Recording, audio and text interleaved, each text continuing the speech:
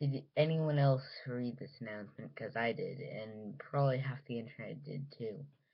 Alex Hirsch has said that Gravity Falls is ending with season two, and kudos to him. Not many shows reach this satisfi satisfying ending. In fact, out of my recent memory, only really Avatar The Last Airbender and Korra both um, succeeded on this principle, but I'm gonna really miss the show.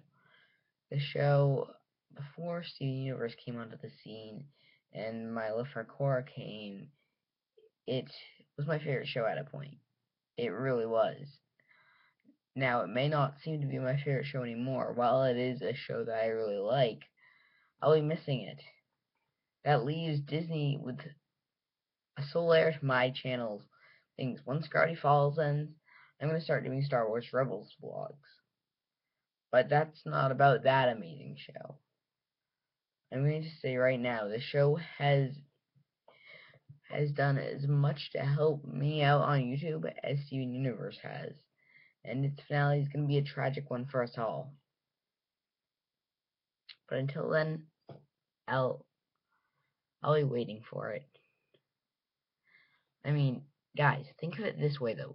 Disney could have turned it into a romance show. Disney could have done so many bad things with it. And yeah, it's arguably bad their shift to Disney XD. Not arguably, but bad in general. So I'm just going to say kudos to you, Alex Hirsch. You are an example to live by for this. This is how you end your show. You end it at the right point. And yeah.